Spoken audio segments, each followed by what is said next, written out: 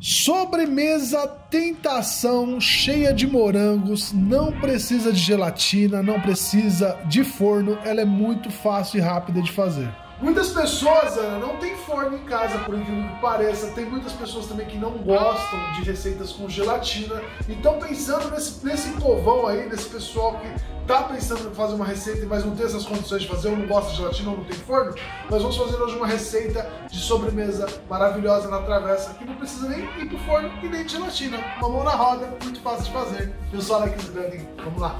No liquidificador você vai começar colocando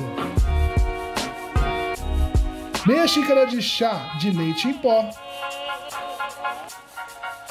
um sachê de suco de morango em pó, pode ser aquele Tang, duas caixinhas de creme de leite, duas latas de leite condensado e liquidifique tudo por dois minutinhos.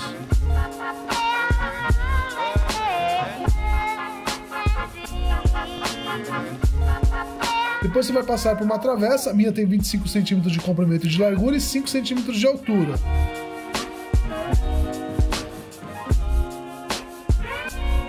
Vamos jogar aqui morangos a gosto picado e dar uma misturadinha. Isso aqui lembra muito Danoninho, pessoal. Fica um gostinho, um saborzinho de Danoninho maravilhoso. A criançada vai amar.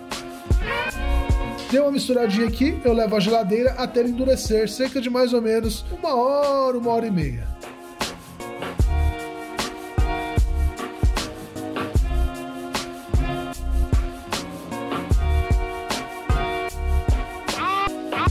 O meu já tá certinho, eu vou pegar agora 300 gramas de chocolate meio amargo, vou derreter no meu micro-ondas de 30 em 30 segundos e acrescentar uma caixinha de creme de leite, misturando bem para virar uma ganache.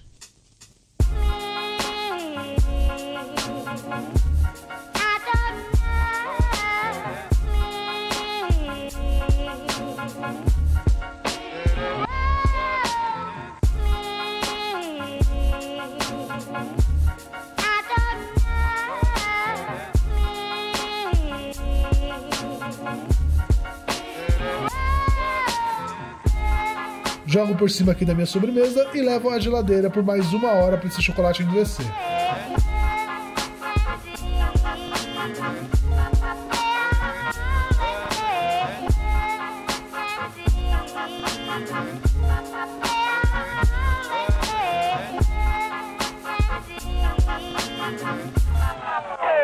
Para finalizar, eu coloco aqui morangos a gosto e olha só, que sobremesa incrível, fantástica, deliciosa, pessoal. Fala a verdade, não precisa de fogo, de forno, de gelatina, muito fácil e rápido você faz ela. espero que vocês tenham gostado, hein? Eu vou ficando por aqui. Até a próxima.